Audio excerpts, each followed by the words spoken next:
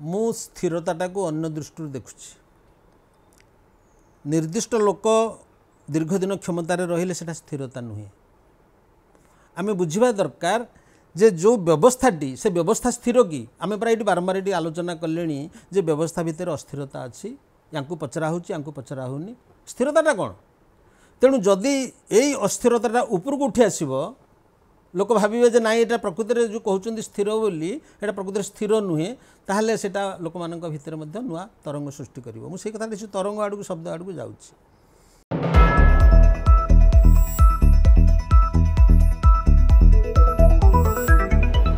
ନମସ୍କାର ଦର୍ଶକ ବନ୍ଧୁ ଦ ଇଣ୍ଟରଭ୍ୟୁକୁ ଆପଣଙ୍କୁ ସ୍ୱାଗତ କରୁଛି। ଦ ଇଣ୍ଟରଭ୍ୟୁରେ ଆଜି ଆମେ ଭେଟିବା ଓଡ଼ିଶାର ଲବ୍ଧ ପ୍ରତିଷ୍ଠିତ ଶିଶୁ ସାହିତ୍ୟିକ ଗାନ୍ଧୀ ବିଚାରଧାରାରେ ବିଶ୍ୱାସ କରୁଥିବା ଜଣେ ଲେଖକ ଏବଂ ରାଜନୀତି ପ୍ରାଧ୍ୟାପକ ଦାସ ବେନୁହରଙ୍କୁ। ଆଜି ଦିନରେ ଆପଣ ଜଣେ ରାଜନୀତି ବିଜ୍ଞାନ ବିଶ୍ଳେଷକ ହିସାବରେ ଆପଣ କ'ଣ ଲକ୍ଷ୍ୟ କରୁଛନ୍ତି?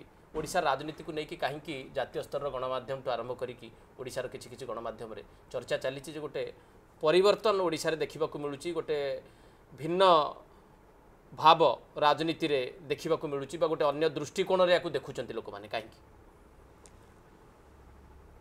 ଦେଖିବାର ଗୋଟେ ସ୍ୱାଭାବିକତା ଅଛି କାରଣ ଯଦି ଓଡ଼ିଶାର ରାଜନୀତିକି ଦେଖିବା ଜଣେ ମୁଖ୍ୟମନ୍ତ୍ରୀ ଦୁଇ ହଜାର ମସିହାରୁ ଓଡ଼ିଶାରେ ଅଛନ୍ତି। ଏବଂ ତାଙ୍କର ଶାସନ ସମୟରେ ଗୁଡ଼ିଏ ପରିବର୍ତ୍ତନ ମଧ୍ୟ ଆସିଛି। ଆଜି ଯେ ସେ ସିନେରିଓ ହେଇଛି ବା ସେ ବଦଳିଛି ସେ କଥା ନୁହେଁ। ଧରାଯାଉ ଦେଖିବା ଆମେ ଆରମ୍ଭ ବେଳେ ପ୍ୟାରୀମୋହନ ମହାପାତ୍ରଙ୍କର ଭୂମିକା। ସେ ଦୀର୍ଘ ବାର ବର୍ଷ ଧରି ଚାଲିଲା। ଏବଂ ସେ ବାର ବର୍ଷ ଭିତରେ ଆଗରୁ ଆମେ ଦେଖିନଥିବା ଗୋଟେ ପ୍ରକାର ପରିବର୍ତ୍ତନ ମଧ୍ୟ ଅନୁଭବ କଲେ। ସିଏ ଚାଲିଗଲା ପରେ ଦୃଶ୍ୟପଟ ବଦଳିଲା। ଏବଂ ସେ ଦୃଶ୍ୟପଟର ପରିବର୍ତ୍ତନ ମଧ୍ୟ ସମସ୍ତେ ଅନୁଭବ କରିଛନ୍ତି। ଆଜି ଯାହାକୁ କହୁଛନ୍ତି ଯେ ନୂଆ ଘଟିଲା ବୋଲି ମୁଁ ଭାବୁଛି ତା ନୂଆ ଘଟି ନାହିଁ। ଇଏ ଗୋଟେ କ୍ରମ ପରିଣାମର ଫଳାଫଳ। ତେଣୁ ଯେଉଁମାନେ ଆଜିର ସମୟଟାକୁ ଆଲୋଚନା କରୁଛନ୍ତି ସେମାନେ ସେଇ ସମୟଟାକୁ ଦେଖିବା ଉଚିତ।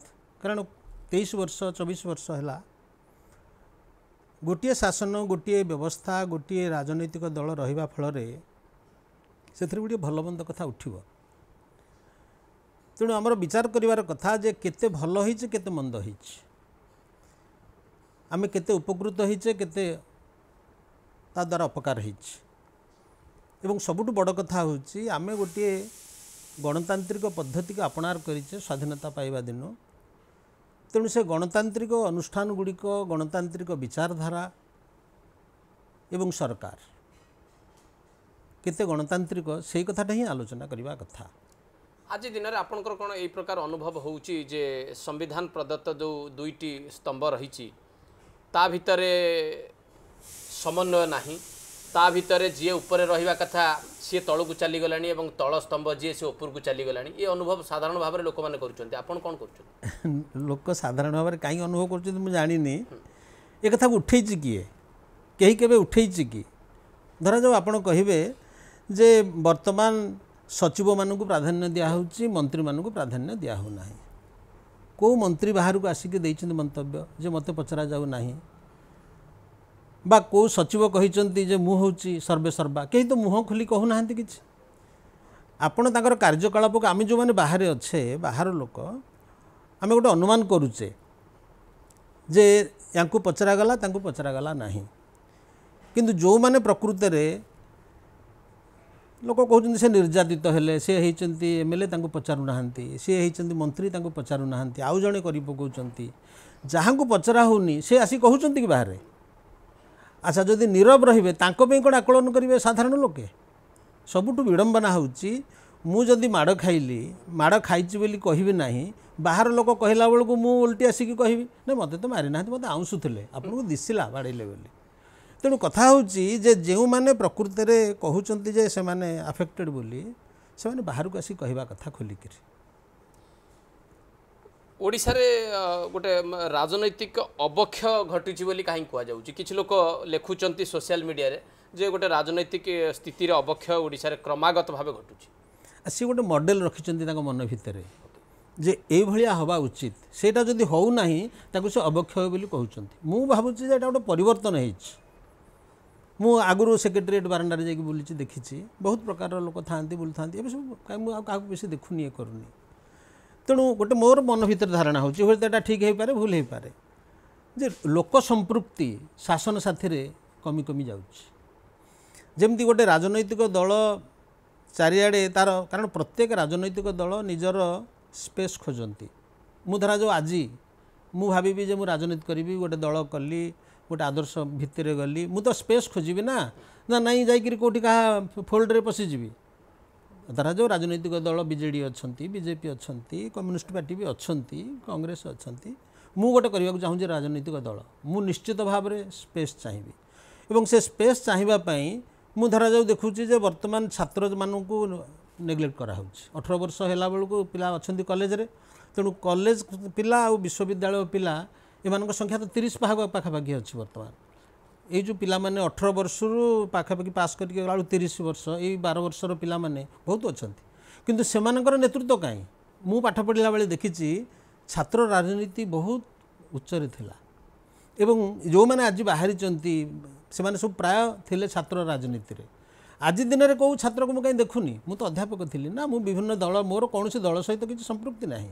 କିନ୍ତୁ ମୁଁ ପିଲାମାନଙ୍କୁ ଦେଖେ ମୁଁ ବହୁତ ଦେଖିଛି ଏସ୍ ଏଫ୍ ଆଇ ପିଲା ଏଏସ୍ ଆଇ ପିଲା କି କଂଗ୍ରେସ ଯୁବ ଜନତା ପିଲା ଯୁବ କଂଗ୍ରେସ ପିଲା ଏବିପି ପିଲା ବହୁତ ସମସ୍ତଙ୍କୁ ଦେଖିଛି ମୁଁ। ଏବଂ ମୋର ବହୁତ ବି କାରଣ ତାଙ୍କ ଭିତରେ ଭଲ ମନ୍ଦ ସମସ୍ତେ ଥାଆନ୍ତି। ଜଣେ ରାଜନୀତି ବିଜ୍ଞାନର ପ୍ରାଧ୍ୟାପକ ଭାବରେ ଆପଣ ଲମ୍ବା ସମୟ କାମ ବି କରିଛନ୍ତି। ତ ସେ ଦୃଷ୍ଟିରୁ ମୁଁ ପଚାରୁଛି ଯେ ଓଡ଼ିଶାରେ ଛାତ୍ର ନିର୍ବାଚନକୁ କାହିଁକି ବନ୍ଦ କରାଗଲା? ୟା ପଛରେ ନିର୍ଦ୍ଦିଷ୍ଟ କିଛି ଉଦ୍ଦେଶ୍ୟ ଆପଣ ଭାବି ପାରୁଛନ୍ତି କି ବା ବାରି ପାରୁଛନ୍ତି କି? ଶୁଣନ୍ତୁ ଏବେ ବହୁତ ଲୋକ ମୁଁ ଦେଖିଲିଣି ସେତେବେଳେ ଯେଉଁମାନେ କହୁଥିଲେ ନାଇଁ ଠିକ୍ ହେଲା କାରଣ କଲେଜ ଗୁଡ଼ାକରେ ଗଣ୍ଡଗୋଳ ହେଉଛି ପିଲାମାନେ କଲେଜକୁ ଆସୁଛନ୍ତି ପାଠ ପଢ଼ିବା ପାଇଁ ନା ରାଜନୀତି କରିବା ପାଇଁ ଯେଉଁମାନେ କହୁଥିଲେ ସେମାନେ ଦେଖିପାରୁନଥିଲେ ଆଗକୁ ଯେ ଏଇଟା ଗୋଟେ ତିଆରି କରୁଛି ମଞ୍ଚ କାରଣ ସେଇ ପିଲା ଆଗକୁ ଆସିଲେ ରା- ନେତା ହେବ ସେଇ ପିଲା ଆଜି ବୁଝିଥିଲେ କାଲି ବୁଝେଇବ। ଏଇ ଯେଉଁ କଥାଟାକୁ ସେତେବେଳେ ସେମାନେ ଗୋଟେ କହିଲେ ଯେ କ- କଲେଜ ବା ୟୁନିଭର୍ସିଟି ହେଇଛି ପାଠ ପଢ଼ିବା ପାଇଁ ସେଠି କାହିଁକି ରାଜନୀତି ହେବ?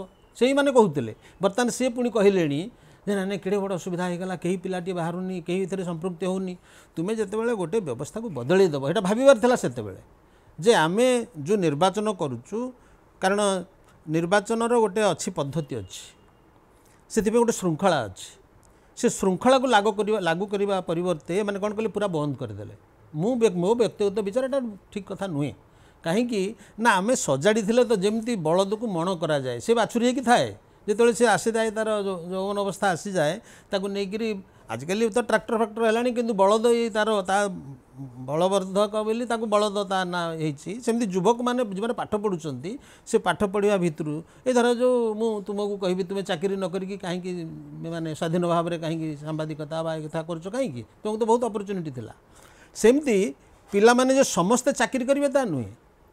ଆମେ ଦେଖିବା ଉଚିତ ଯେ ଗୋଟେ ଗଣତାନ୍ତ୍ରିକ ବିସ୍- ମାନେ ପ୍ରକ୍ରିୟାରେ ନେତାମାନେ ତିଆରି ହେବା କଥା।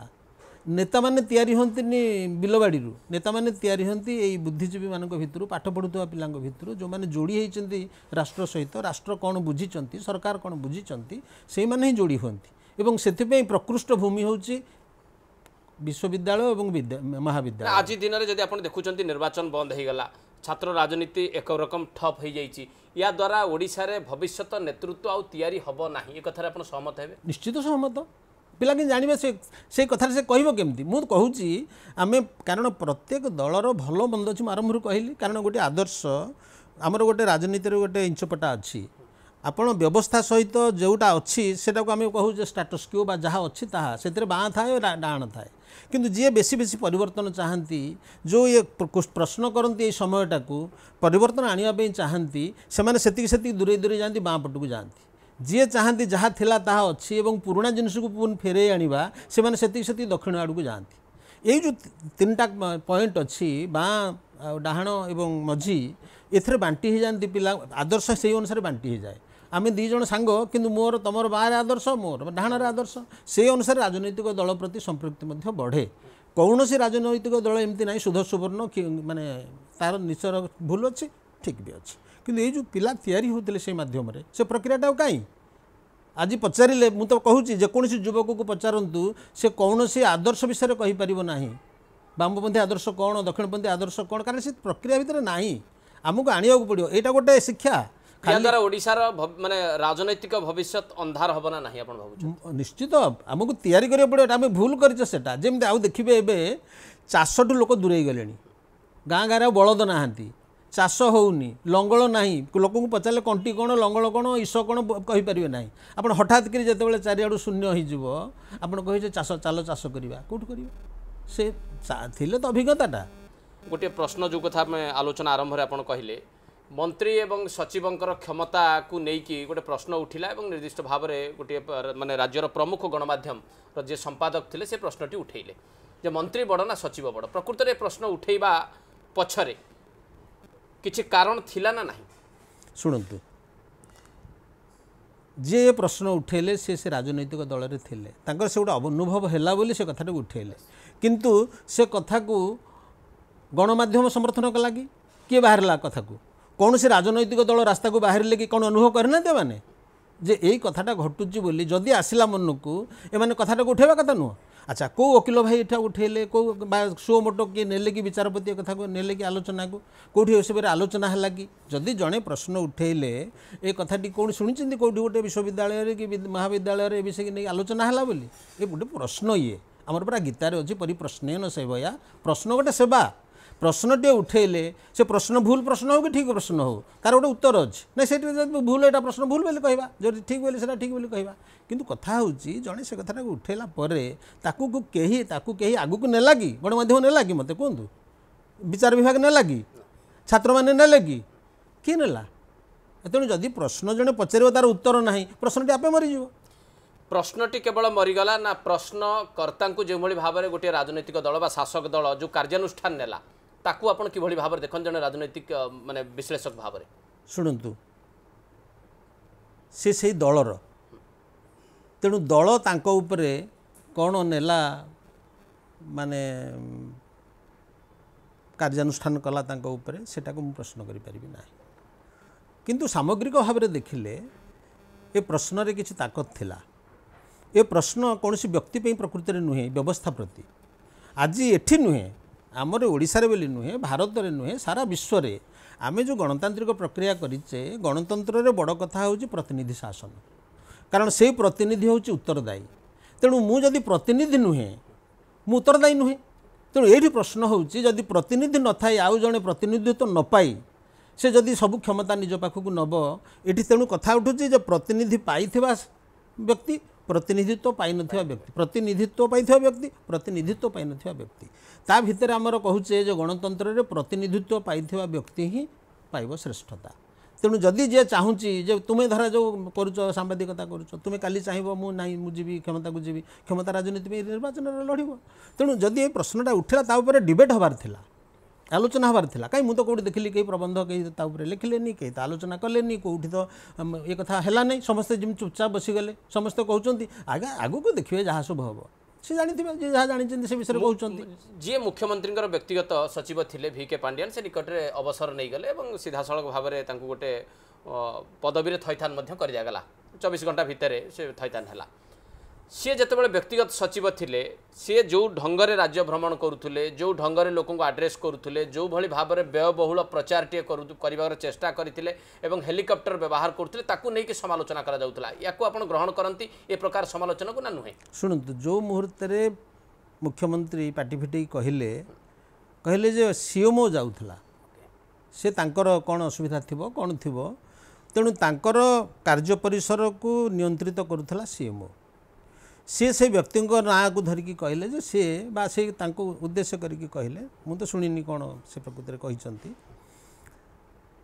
ଦାୟିତ୍ୱ ହେଉଛି ରାଜ୍ୟର ଶାସନ ବ୍ୟବସ୍ଥାକୁ ସିଏମ୍ଓ ବୁଝିବ ଏବଂ ମୁଖ୍ୟ ହେଉଛନ୍ତି ସିଏମ୍ ଚିଫ୍ ମିନିଷ୍ଟର। ସେ ଯଦି କହିଲେ ଆସେମ୍ବଲିରେ ପ୍ରକାଶ କଲେ ଯେ ସିଏମ୍ଓ ତରଫରୁ ବା ସିଏମ୍ଓ ଯାଉଥିଲା ବୁଲିବା ପାଇଁ ଆଉ ତ କିଛି ପ୍ରଶ୍ନ କରିହେବନି ଏ କଥାଟା ଆରମ୍ଭରୁ କହିଦେବାର ଥିଲା। ଏ କଥାଟା ଯଦି ଆରମ୍ଭରୁ କହିଦେଇଥାନ୍ତେ ତାହେଲେ ଏତେ କଥା ସବୁ ଉଠନ୍ତା ନାହିଁ। କାରଣ ମୁଁ ଯାହା କରିବି ମୋର କୌଣସି ବ୍ୟକ୍ତି ମାଧ୍ୟମରେ ଏ କଥା କରେଇ ପାରିବି। ଆପଣ କହିପାରନ୍ତି ଯେ ଆମର ଲେଜିସ୍ଲେଚର ଅଛି ଆଇନ ପାସ୍ କରିବା ପାଇଁ। ସେ ଯଦି ଆଇନ କରୁଛନ୍ତି ଲେଜିସ୍ଲେଚରକୁ ପଚାରୁନାହାନ୍ତି ତାହେଲେ ଆମେ ଏଠି ପ୍ରଶ୍ନ କରିବା। କିନ୍ତୁ ଏକ୍ଜିକ୍ୟୁଟିଭ୍ ଫ୍ୟାଟ୍ ବା ଏକ୍ଜିକ୍ୟୁଟିଭ୍ ଅର୍ଡ଼ର ଏଇଟା ତ ଦେବା ପାଇଁ ଅଧିକାର ଅଛି ମୁଖ୍ୟମନ୍ତ୍ରୀଙ୍କର। ତେଣୁ ମୁଖ୍ୟମନ୍ତ୍ରୀ ଯଦି କାହାକୁ ପଠାଇଲେ ସେ କଥାଟା ମୁଁ ସେଇଥିପାଇଁ କହୁଛି ସେ ବିଳମ୍ବ କଲେ ଘୋଷଣା କରିବାରେ। ଏ କଥାଟା ଯଦି ସେ ଆଗରୁ କହିଥାନ୍ତେ ଯେ ମୁଁ ଯେହେତୁ ଚାହୁଁଛି ଯେ ଏଭଳି ମୁଁ ତ ସବୁଆଡ଼େ ଯାଇପାରିବିନି ବା ତାଙ୍କର କ'ଣ ଅସୁବିଧା ଥାଇପାରେ ସେ ସେଇଟା କହିଥାନ୍ତେ ତାହେଲେ ଏ କଥାଟା ପ୍ରଶ୍ନ ଏତେ ଉଠିନଥାନ୍ତା ଯେହେତୁ ସେ କହିନାହାନ୍ତି ଏହା ପ୍ରଶ୍ନ ଉଠିବା ପାଇଁ ଏକ ଯୋଗ୍ୟ ବିଷୟ। ହେଲା ସେଇଥିପାଇଁ ତ। ଆଉ ପ୍ରଶ୍ନ କାହିଁ ଉଠିଲା? ଅନେକ ଲୋକ ତ ମୁଁ ତ ଦେଖୁଛି ଅନେକ ଲୋକ କ'ଣ କହୁନାହାନ୍ତି କି? ଏବେ ସୋସିଆଲ ମିଡ଼ିଆରେ ମୁଁ ଦେଖିଲିଣି କେହି କେହି ସେ କଥାଟା କହୁଛନ୍ତି କହୁନାହାନ୍ତି ବୋଲି ନୁହେଁ। ସିଏ ତାକୁ ପ୍ରତିନିଧିତ୍ୱ କରିକି ତାଙ୍କ ଖବରକାଗଜରେ ଲେଖିଦେଲେ। କିନ୍ତୁ ଅନ୍ୟମାନେ ତ ଆ- ବିଭି- ବିଭିନ୍ନ ଜାଗାରେ ଆଲୋଚନା ହେଉଛି। ଆମ- ଆମେ କ'ଣ ଶୁଣୁନୁ ସେ କଥା ନା କ'ଣ? ଆଜି ଦିନରେ ମାନେ ଆପଣ ବିଶ୍ୱାସ କରନ୍ତି କି ଯେ ପ୍ରକୃତରେ ଓଡ଼ିଶାରେ ଗୋଟେ କ୍ଷମତାର ଅପହରଣ ହେଇଛି ଲେଜିସ୍ଲେଟିଭ୍ ଠାରୁ ଏକ୍ଜିକ୍ୟୁଟିଭ୍ କ୍ଷମତାକୁ ଅପହରଣ କରି ନେଉଛି ଲେଜିସ୍ଲେଟିଭ୍ ମାନେ ର ଯାହା ଦାୟିତ୍ୱ ରହିବା କଥା ତାହା ସେ ଠିକଣା ବାଟରେ କରିପାରୁନି। ଏଇ ଅନୁଭବ ଏଇ ଯେଉଁ ଅପହରଣ ଶବ୍ଦଟା ଲଗେଇଲେ ସେ କ'ଣ ଅବଳା ଦୁର୍ବଳା ସବୁ ତାମାନେ ହେଇଥିବେ? ଯଦି ଅପହରଣ ହେଇଛି ବୋଲି ଆପଣ ସ୍ୱୀକାର କରୁଛନ୍ତି ଯେ କ୍ଷମତା ଅପହରଣ ହେଇଗଲା ଆଙ୍କ ପାଖରେ ଥିଲା ସେ ନେଇ ପଳେଇଲେ ତାମାନେ ଏମାନେ ଦୁର୍ବଳ। ମୁଁ କେତେବେଳେ ଆପଣଙ୍କଠୁ ଛଡ଼େଇ ନେବି? ଯେତେବେଳେ ଆପଣ ଦୁର୍ବଳ ଆପଣ ମେ ମେ ହେବେ ଆଉ ଯଦି ମେ ମେ ହେବାକୁ ଲୋକ ପ୍ରସ୍ତୁତ ଅପହରଣ ହେଲା ଏଥିରେ କହିବେ କ'ଣ କଥାଟା? ଯଦି ଅପହରଣ ବୋଲି ତାକୁ କହୁଛନ୍ତି ମୁଁ ତ ଅପହରଣ ଶବ୍ଦଟା ଲଗାଉନି। ଆପଣ ଲଗେଇଲେ ସେ ଅପହରଣ ଶବ୍ଦ। ଯଦି ଅପହରଣ ହେଇଛି ବୋଲି କହୁଛନ୍ତି କେମିତି ଅପହୃତ ହେଲା? ଇଏ ଗୁଡ଼ିଏ ମେଣ୍ଢା। ମେଣ୍ଢାଙ୍କ ପାଖରୁ ଅପହୃତ ହେବାଟା ସ୍ୱାଭାବିକ। ମଣିଷଟି ଆସିଲା ଛଡ଼େଇ ନେବ। ଏଥିରେ କ'ଣ କରାଯିବ? କିନ୍ତୁ କ୍ଷମତା ତାର ଗୋଟେ ମୁଁ ସେଇଥିପାଇଁ କହିଲି ଯେ ଆମେ ଯେଉଁ ବ୍ୟବସ୍ଥା ଆଗରୁ ରାଜା ରାଜୁଡ଼ା ଥିଲେ ରାଜାମାନଙ୍କ ପାଖରେ କ୍ଷମତା ଥିଲା। ସେ ଯାହା ଚାହୁଁଥିଲେ ତାହା କରୁଥିଲେ। ଆମେ ଗଣତନ୍ତ୍ର ଆଣିଲେ। ଗଣତନ୍ତ୍ରରେ କହିଲେ ଯେ ଲୋକମାନେ ପାଞ୍ଚ ବର୍ଷରେ ଥରେ କ୍ଷମତାଶାଳୀ ହେବେ ସେତିକି ବେଳେ ଭୋଟ ଦେବେ ଏବଂ ସେଇ ଭୋଟ ପାଇସାରିଲା ପରେ କ୍ଷମତାଶାଳୀ ହେବେ କେଉଁମାନେ? ଯେଉଁମାନେ ପ୍ରତିନିଧି। ନିର୍ବାଚିତ ହେବେ। ନିର୍ବାଚିତ ହେବେ ପ୍ରତିନିଧି। ଏହି ପ୍ରତିନିଧିମାନଙ୍କ ଭିତରୁ ବାଛିକରି ସେ ପୁଣି ଆହୁରି ଶାସନକୁ ଗଲେ। ଆଚ୍ଛା ସେମାନେ ଯଦି କିଛି ନିଜର ପ୍ରତିକ୍ରିୟା ନ ଦେଖେଇବେ ଆମେ ସାଧାରଣ ଲୋକ ସେ କଥା କ'ଣ କହିବା? ସାଧାରଣ ଭୋଟରଟେ କ'ଣ କହିବ? ଏକଥା କହିବା ପାଇଁ ରାଜନୈତିକ ଦଳ ଅଛନ୍ତି ସେଥିପାଇଁ ପ୍ରତିପକ୍ଷ ଅଛନ୍ତି। ଓଡ଼ିଶାର ଶାସନ ବ୍ୟବସ୍ଥାକୁ ଦେଖିଲା ପରେ ଆପଣଙ୍କର କିଛି ଅନୁଭବ ହେଉଛି କି ଯେ ଆଗାମୀ ସମୟ ଓଡ଼ିଶା ପାଇଁ ବହୁତ ଗୁରୁତ୍ୱ ବହନ କରିପାରେ। ଆଗାମୀ ସମୟ ଓଡ଼ିଶା ପାଇଁ କିଛି ଭିନ୍ନ ବାର୍ତ୍ତା ଦେବାକୁ ବହୁତ ଗୁରୁତ୍ୱପୂର୍ଣ୍ଣ ବହୁତ ଗୁରୁତ୍ୱପୂର୍ଣ୍ଣ। ଆଗାମୀ ସମୟ ବହୁତ ଗୁରୁତ୍ୱପୂର୍ଣ୍ଣ ହେବ। କାହିଁକି? ଦୁଇ ଦିଗରୁ ବିଚାର କରିବାର କଥା। କାରଣ ଜଣେ ଗୋଟେ ପ୍ରକାରର ଶାସନ ଦୀର୍ଘ ବର୍ଷ ରହି ଧରିକି ରହିଲେ ଯଦି ଲୋକ ତାର ସୁଫଳ ପାଉଛନ୍ତି ବୋଲି ଭାବିବେ ତାହେଲେ ସିଆଡ଼କୁ ଢଳିବେ। ଲୋକ ଯଦି ଭାବୁଛନ୍ତି ଯେ ନାଇଁ ୟା ଦ୍ୱାରା ଆମର ବହୁତ ବିଫଳତା ଆସିଲା ଆମେ ବହୁତ କ୍ଷତି ସହିଲୁ ସିଆଡ଼କୁ ଯିବେ। ମୁଁ ତ ଲୋକପ୍ରତିନିଧି ନୁହଁ ମୁଁ କୌଣସି ରାଜନୈତିକ ଦଳର ନୁହଁ। ତେଣୁ ମୁଁ ଗୋଟେ ଭୋଟର ହିସାବରେ ଭାବିବି ଯଦି ମୋର ଉପକାର ହେଇଛି ବୋଲି ମୁଁ ଭାବୁଛି ବା ଜନସାଧାରଣଙ୍କ ଉପକାର ହେଉଛି ବୋଲି ଭାବିବି ସେ କ୍ଷମତାରେ ଥାଆନ୍ତୁ କାରଣ ଇନକମ୍ବେନ୍ସି ଆଣ୍ଟି ଇନକମ୍ବେନ୍ସି ଦୁଇଟା ଯାକ ହୁଏ। ମୋଦି ତ ଥିଲେ ପୁଣି ଆସିଲେ କେମିତି? ନବୀନ ବାବୁ ତ ଅଛନ୍ତି ପୁଣି ଆସୁଛନ୍ତି କିନ୍ତୁ ବାରମ୍ବାର? ତେଣୁ ଲୋକ ସମର୍ଥନ ଦେଉଛନ୍ତି ତେଣୁ ଲୋକେ ହେଉଛନ୍ତି ନିୟାମକ ଲୋକେ ବୁଝିବା ଦରକାର। ତେଣୁ ଲୋକମାନଙ୍କ ଭିତରେ ଯଦି ତରଙ୍ଗ ସୃଷ୍ଟି ହେଉଛି ସେଇଟାକୁ ବୁଝିବା ଦରକାର। ଆପଣମାନେ ସେଇଟା ବେଶୀ ଜାଣିପାରିବେ। କାରଣ ଆପଣ ମିଶୁଛନ୍ତି ଲୋକମାନଙ୍କ ସାଥିରେ। ତରଙ୍ଗର ସ୍ରୋତଟା କୁଆଡ଼କୁ ଯାଉଛି? ଯଦି ଯାଉଛି ଯେ ଭଲ କାମ ହେଉଛି ସିଆଡ଼କୁ ଯିବ? ଆମ ମୁଁ ମନା କରିଦେଲେ କ'ଣ ବନ୍ଦ ହେଇଯିବ ନା କ'ଣ? ଯଦି ଓଲା ଓଲଟା ବାଗରେ ଯାଉଛି ଲୋକ ସିଆଡ଼କୁ ଯିବେ। ବିଶେଷ ମାନେ ବିଶେଷ ଭାବରେ ଯଦି ଦେଖାଯାଏ ଗୋଟେ ରାଜନୈତିକ ଦୃଷ୍ଟିଭଙ୍ଗୀ ଯଦି ଆପଣ ପୋଷଣ କରନ୍ତି ବର୍ତ୍ତମାନ ସମୟକୁ ଆପଣ ଭାବୁଛନ୍ତି ଯେ ଆଗାମୀ ସମୟ ଅଧିକ ପରୀକ୍ଷାର ସମୟ ହେବ ଶାସନରେ କ୍ଷମତା ମାନେ କ୍ଷମତାରେ ଥିବା ରାଜନୈତିକ ଦଳ ପ୍ରତି? ତେଣୁ ଆଉ ଯେଉଁ ଆଗାମୀ ସମୟ ଯେଉଁ ଆସୁଛି ବୋଲି କହୁଛନ୍ତି ଇଏ ଗୋଟେ ନୂଆ ଚ୍ୟାଲେଞ୍ଜ ସୃଷ୍ଟି କରିବ। କାହିଁକି ନା ଦୀର୍ଘ ଦିନ ଧରି ଗୋଟିଏ ଦଳ ଯେତେବେଳେ ଶାସନରେ ରହେ ସେ ନିଶ୍ଚୟ କିଛି ଭୁଲ ଭଟକା କରିବ। ସେଇ ଭୁଲ ଭଟକାଟାକୁ ଜାଣିବା ଦରକାର ଯେଉଁମାନେ ବିରୋଧୀ। ଯଦି ସେ ଭୁଲ ଭଟକାଟା ଜାଣିପାରୁନାହାନ୍ତି ତାହେଲେ ତାଙ୍କର କଚେ ପୁଅ ବାର ଯଦି ଜାଣିପାରୁଛନ୍ତି ତାରି ଉପରେ ସେମାନେ ନିର୍ଭର କରିକିରି ଲଢ଼ିପାରିବେ କିନ୍ତୁ ନିର୍ଭର କରୁଛି ସେଥିପାଇଁ କଥାଟା ଯେ ଯେଉଁମାନେ ପରୋକ୍ଷ ବା- ବିରୋଧୀ ଇଏରେ ଅଛନ୍ତି ସେ କେତେ ବୁଝିଛନ୍ତି କଥାଟାକୁ କେତେ ବୁଝେଇ ପାରୁଛନ୍ତି ନେଇକି ଲୋକମାନଙ୍କ ପାଖରେ ସେଇଟା ତ ହେଉଛି ଗୁରୁତ୍ୱପୂର୍ଣ୍ଣ। ଗୋଟେ ରାଜ୍ୟରେ ସ୍ଥିର ସରକାର ରହିଛି ସ୍ଥିର ନେତା ରହିଛନ୍ତି ବା ନେତୃତ୍ୱ ଯିଏ ଦେଉଛନ୍ତି ସେ ସ୍ଥିର ହୋଇକି ରହିଛନ୍ତି। ଏବଂ ଗୋଟେ ରେକର୍ଡ ମଧ୍ୟ କ- କରିବାକୁ ଯାଉଛି ବିଜୁ ଜନତା ଦଳ ଆଞ୍ଚଳିକ ରାଜନୈତିକ ଦଳ ହିସାବରେ ଲମ୍ବା ସମୟ ଶାସନ କରିବାର। ଜଣେ ଓଡ଼ିଆ ଭାବରେ ଆପଣଙ୍କର ଅନୁଭବ କ'ଣ? ଯେ ଗୋଟେ ସ୍ଥିର ସରକାର ପାଇବା ପରେ ସ୍ଥିର ମୁଖ୍ୟମନ୍ତ୍ରୀ ପାଇବା ପରେ ଓଡ଼ିଶା କ'ଣ ପାଇଛି? ମୁଁ ସ୍ଥିରତାଟାକୁ ଅନ୍ୟ ଦୃଷ୍ଟିରୁ ଦେଖୁଛି। ନିର୍ଦ୍ଦିଷ୍ଟ ଲୋକ ଦୀର୍ଘଦିନ କ୍ଷମତାରେ ରହିଲେ ସେଟା ସ୍ଥିରତା ନୁହେଁ। ଆମେ ବୁଝିବା ଦରକାର ଯେ ଯେଉଁ ବ୍ୟବସ୍ଥାଟି ସେ ବ୍ୟବସ୍ଥା ସ୍ଥିର କି ଆମେ ପ୍ରାୟ ଏଠି ବାରମ୍ବାର ଏଠି ଆଲୋଚନା କଲେଣି ଯେ ବ୍ୟବସ୍ଥା ଭିତରେ ଅସ୍ଥିରତା ଅଛି ୟାଙ୍କୁ ପଚରା ହେଉଛି ୟାଙ୍କୁ ପଚରା ହେଉନି। ସ୍ଥିରତାଟା କ'ଣ? ତେଣୁ ଯଦି ଏଇ ଅସ୍ଥିରତାଟା ଉପରକୁ ଉଠି ଆସିବ ଲୋକ ଭାବିବେ ଯେ ନାଇଁ ଏଇଟା ପ୍ରକୃତିରେ ଯେଉଁ କହୁଛନ୍ତି ସ୍ଥିର ବୋଲି ଏଇଟା ପ୍ରକୃତିରେ ସ୍ଥିର ନୁହେଁ ତାହେଲେ ସେଇଟା ଲୋକମାନଙ୍କ ଭିତରେ ମଧ୍ୟ ନୂଆ ତରଙ୍ଗ ସୃଷ୍ଟି କରିବ। ମୁଁ ସେଇ କଥା କିଛି ତରଙ୍ଗ ଆଡ଼କୁ ଶବ୍ଦ ଆଡ଼କୁ ଯାଉଛି। ଏଇଟା ଗୋଟେ ଭଲ କଥା ତା ଦୃଷ୍ଟିରୁ ବିଚାର କଲେ। ନା ଧରାଯାଉ ମୋର ଗୋଟେ ସ୍ୱପ୍ନ ଅଛି। ମୁଁ ଗୋଟେ ଶାସକ। ମୁଁ ସେ ସ୍ୱପ୍ନ ଗୁଡ଼ିକୁ ପୂରଣ କରିବାକୁ ଚାହିଁବି ଶିକ୍ଷା କ୍ଷେତ୍ରରେ କୃଷି କ୍ଷେତ୍ରରେ ସ୍ୱାସ୍ଥ୍ୟ କ୍ଷେତ୍ରରେ ଶିଳ୍ପ କ୍ଷେତ୍ରରେ କରିବାକୁ ଚାହିଁବି। ସେଇଥିପାଇଁ ଆମେ ସ୍ଥିର ସରକାର ଖୋଜୁ ଯେ କାରଣ ପାଞ୍ଚ ବର୍ଷରେ ତ ସରିଯାଉନି ଗୋଟେ ଏପରିକି ପରିକଳ୍ପନା ଅଛି ଯେମିତି ଆମେ ଗବେଷଣା କରୁ କିଛି କିଛି ଗବେଷଣା ଦୁଇ ବର୍ଷରେ ସରିଯାଏ କିଛି କିଛି ତ ଲାଗିଯାଏ କୋଡ଼ିଏ ବର୍ଷ ସରେ ନାହିଁ। ସେମିତି ଶାସନରେ କିଛି କିଛି ଯୋଜନା ଥାଏ। ଯେଉଁ ଯୋଜନା ଗୁଡ଼ିକୁ ଦୀର୍ଘମିଆଦୀ ସୂତ୍ରରେ ସାରିବାକୁ ହୁଏ। ତେଣୁ ସେଭଳିଆ ଯୋଜନା ଯେଉଁ ଶାସକଙ୍କର ଥିବ ସେ ସାରିବାକୁ ଯିବେ। ମୁଁ ତ ଜାଣିନି ନବୀନ ବାବୁଙ୍କର ଯୋଜନା କ'ଣ ତାଙ୍କର କ'ଣ ଅଛି ଇଏ। ସେ ଅଛନ୍ତି ଦୀର୍ଘ ଦିନ ଧରି ଅଛନ୍ତି ଇଏରେ ଅଛନ୍ତି। ତାଙ୍କର ସେମିତି କିଛି ଯଦି ଥିବ ଯୋଜନା ଯେ ମୁଁ ଓଡ଼ିଶାକୁ ଏଇଆ କରିବାକୁ ଚାହିଁବି ତାହେଲେ ସେଇଟା ସ୍ୱାଗତ ଯୋଗ୍ୟ। ଯଦି ତାଙ୍କର ସେମିତି କିଛି ଯୋଜନା ନାହିଁ ମୋର ସେ ସ୍ୱାଗତ କରିବାର କିଛି ନାହିଁ। ସାର୍ ବିଭିନ୍ନ ସମୟରେ ମାନେ ଶାସକ ଦଳ ବା ବିଜୁ ଜନତା ଦଳ କହେ ବିଜୁ ବାବୁଙ୍କ ସ୍ୱପ୍ନ ପୂରଣ କରିବାକୁ ସେମାନେ ଦଳ ଗଠନ କରିଥିଲେ। କେତେ ମାନେ ପାଖାପାଖି ତେଇଶ ବର୍ଷ ଉପରେ ହେଇଗଲାଣି। ବିଜୁ ବାବୁଙ୍କ ସ୍ୱପ୍ନ ପରେ ଏବେ ନବୀନ ବାବୁଙ୍କର ସ୍ୱପ୍ନ ପୂରଣ କରିବା ପାଇଁ ସେମାନେ ପ୍ରତିଶ୍ରୁତିବଦ୍ଧ ବା ଲୋକଙ୍କ ପାଖରେ କଥା କହୁଛନ୍ତି। ଏଇ ସ୍ୱପ୍ନ କ'ଣ ଥିଲା? ଜଣେ ରାଜନୈତିକ ପର୍ଯ୍ୟବେକ୍ଷକ ଭାବରେ ଆପଣ ଦେଖୁଛ ମାନେ ଜାଣିଛନ୍ତି କି ଯେ ବିଜୁ ବାବୁ କ'ଣ କ'ଣ ସ୍ୱପ୍ନ ଦେଖିଥିଲେ? ନବୀନ ବାବୁ କ'ଣ କ'ଣ ସ୍ୱପ୍ନ ଦେଖିଛନ୍ତି? ବିଜୁ ବାବୁଙ୍କ ସ୍ୱପ୍ନ କେତେ ପୂରଣ ହେଇଛି କେତେ ରହିଛି? ନବୀନ ବାବୁଙ୍କ ସ୍ୱପ୍ନ କେବେ ପୂରଣ ହେବ? ଶୁଣନ୍ତୁ ତେୟାନବେ ମସିହାରେ ମୁଁ ବିଜୁବାବୁଙ୍କୁ ଗୋଟେ ଇଣ୍ଟରଭ୍ୟୁ କରିଥିଲି। ତାଙ୍କ ଉପରେ ଗୋଟେ ବହି ଲେଖିବି ବୋଲି ଖେଳୁଆଡ଼ ବିଜୁ ତାଙ୍କର ମାନେ ଶୈଶବ କୈଶୋର ଏଇସବୁ ନେଇକି କରିବା ପାଇଁ। ମୋର ଯଦି ପ୍ରକୃତରେ ଥାଆନ୍ତା ବୁଦ୍ଧି ସେତେବେଳେ ମୁଁ ପଚାରିଥାନ୍ତି ଯେ ଆଜ୍ଞା ଆପଣଙ୍କର ସ୍ୱପ୍ନ କ'ଣ? ବିଜୁବାବୁ ତ ସ୍ୱପ୍ନର ତାଲିକା ଦେଇକି ଯାଇନାହାନ୍ତି। ଆମେ ଅନୁମାନ କରୁଛେ ଯେ ଏଇଗୁଡ଼ା ତାଙ୍କର ସ୍ୱପ୍ନ। ଏବଂ ଏପର୍ଯ୍ୟନ୍ତ ମଧ୍ୟ ମୁଁ ତ ଯେହେତୁ ବିଜେଡ଼ିର ନୁହଁ କି ମୁଁ ପାଖରେ କଥା ହେଇନି କେବେ ନବୀନ ବାବୁଙ୍କ ସହିତ ତାଙ୍କର ବି ସ୍ୱପ୍ନ କ'ଣ ମୁଁ ଜାଣିନି ମୁଁ ତ ଜାଣିନି ତା ବିଜୁ ବାବୁଙ୍କର ସ୍ୱପ୍ନ କ'ଣ ଇଏ କ'ଣ ପୂରଣ କରୁଛନ୍ତି ମୁଁ କେମିତି କହିବି ବା ସ- ନବୀନ ବାବୁଙ୍କର ସ୍ୱପ୍ନ କ'ଣ ସେ କଥା ମୁଁ କେମିତି କହିବି ଯଦି ସ୍ୱପ୍ନର ତାଲିକା ବାହାରି ଯାଆନ୍ତା ତାହେଲେ ଜଣାପଡ଼ନ୍ତା ଯେ ଏୟା ଏୟା କରିବା ପାଇଁ ସେ ସ୍ୱପ୍ନ ଦେଖୁଛନ୍ତି ସେଗୁଡ଼ା ତ ନାହିଁ ତେଣୁ ଏ ସ୍ୱପ୍ନ କଥାଟାକୁ କାହିଁ ଉଠେଇବା ଯେ କାହିଁକି ସେଇଟାକୁ ଗୋଟେ ଆଧାର କରୁଛି ଗୋଟେ ଦଳ ଯେ ଆମେ ସ୍ୱପ୍ନ ପୂରଣ କରିବା ପାଇଁ ଆସିଛୁ ସ୍ୱପ୍ନ ପୂରଣ କରିବାର ସୁଯୋଗ ଆମକୁ ମୁଁ ଦିଅ ଆରମ୍ଭରୁ କହିଛି ପ୍ରତ୍ୟେକ ଦଳ ତାଙ୍କର ସ୍ପେସ୍ ଖୋଜନ୍ତି ତିଆରି କରିବା ପାଇଁ ଯେମିତି ଆପଣ ଛବିଟିଏ ଆଙ୍କିବେ ଗୋଟେ କାନଭାସ୍ ତ ଆପଣଙ୍କ ଦରକାର। ତେଣୁ ସେ ତିଆରି କରନ୍ତି ସେଥିରେ କିଛି ଦୋଷ ନାହିଁ। ଆଉ ସେ ନ କହିଲେ ଆସିବେ କେମିତି କ୍ଷମତାକୁ ସେ ସୁ- ସ୍ୱପ୍ନ କଥା କହିଲେ ଲୋକ ଭାବିବେ ଯେଉଁମାନେ ଭଲ ପାଆନ୍ତି ବିଜୁବାବୁଙ୍କୁ ଆଚ୍ଛା ବିଜୁବାବୁଙ୍କର ଏସବୁ ସ୍ୱପ୍ନ ଥିଲା ସାରିପାରି ନାହାନ୍ତି ନାଇଁ ନାଇଁ ନାଇଁ ଆମେ ସେ ସାଥିରେ ସାମିଲ ହେବା ନା ଆମର ପ୍ରିୟ ନେତା ଦେଖିଥିଲେ ସ୍ୱପ୍ନ। କିନ୍ତୁ ମୁଁ ଜାଣିନି ତାଙ୍କର ପ୍ରକୃତିର ସ୍ୱପ୍ନ କ'ଣ। ଯେଉଁମାନେ ଜାଣିଛନ୍ତି ଜାଣିଥିବେ।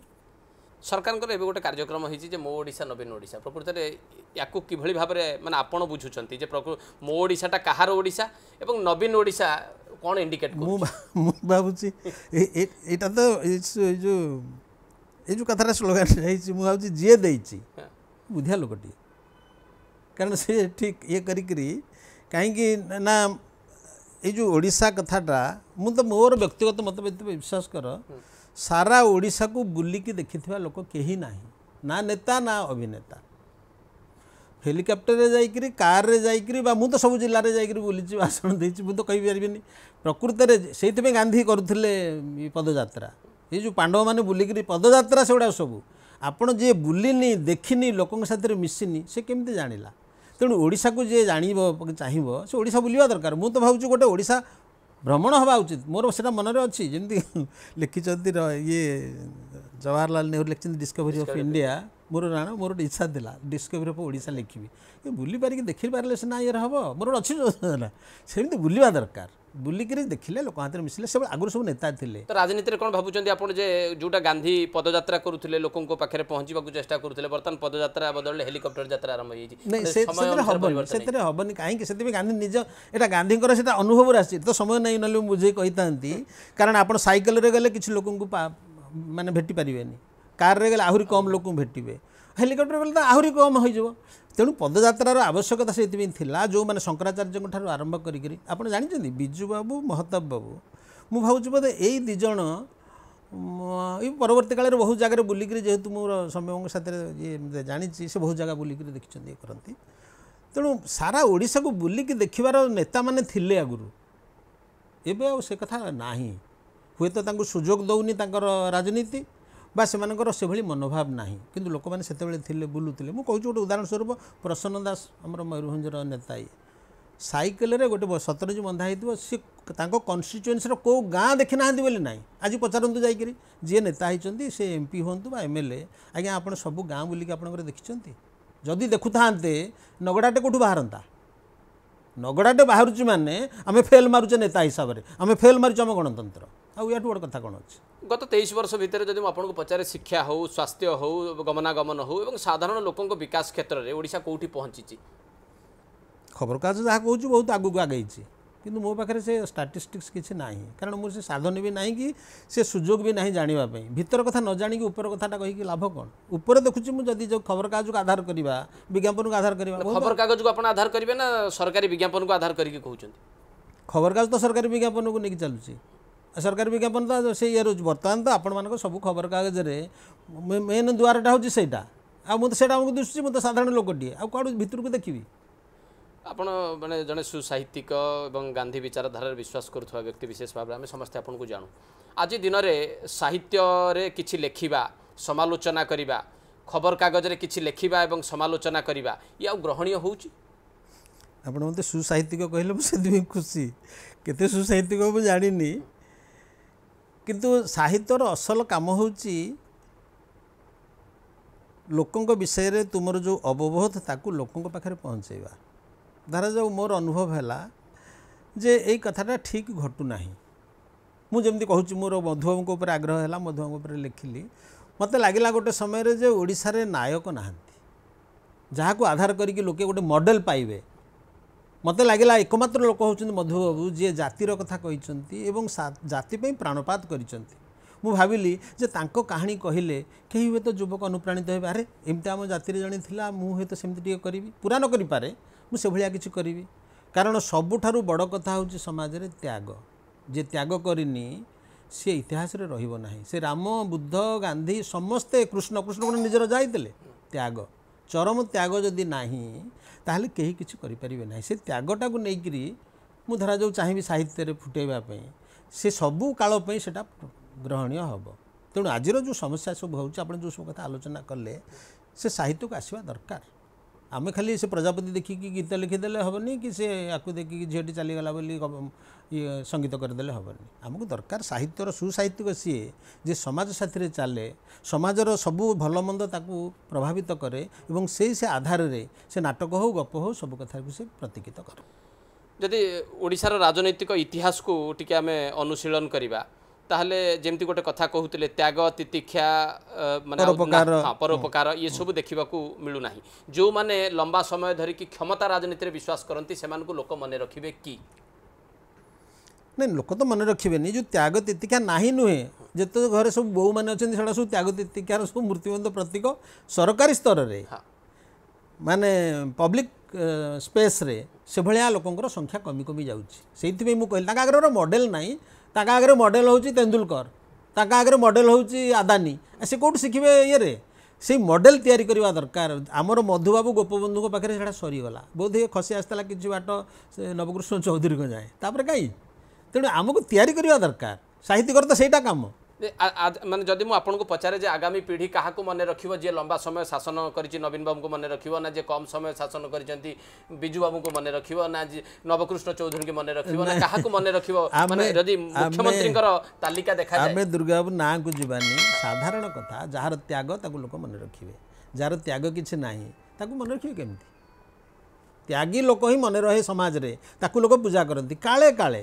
ଆପଣଙ୍କର ଚାରି ବୋହୂ ସେଥିରୁ ସବୁଠାରୁ ଅସୁନ୍ଦରୀ ହେଲେ ବି ବୋହୂଟି ଯେ ସବୁଠାରୁ ବେଶୀ ତ୍ୟାଗ ସ୍ୱୀକାର କରିଛି ତା ପ୍ରତି ଆପଣଙ୍କର ରହିବ ସଦ୍ଭାବ ରହିବ ଆହା କେତେ କାମ କରିଛି ଘର ପାଇଁ।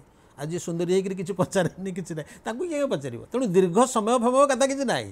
ଅଳ୍ପ ସମୟ ଦୀର୍ଘ ସମୟ ଏସବୁ କଥାର କିଛି ବିଚାର ନାହିଁ। ମୂଳ ଗୁରୁତ୍ୱପୂର୍ଣ୍ଣ କଥା ହେଉଛି ସମାଜ ପାଇଁ ଯେତେ ଯିଏ ଦେଇଛି ତ୍ୟାଗ କରିଛି ସିଏ ହିଁ ମଣିଷ ମନ ଭିତରେ ବା ଲୋକମାନଙ୍କ ଭିତରେ ମେଳରେ ରହେ।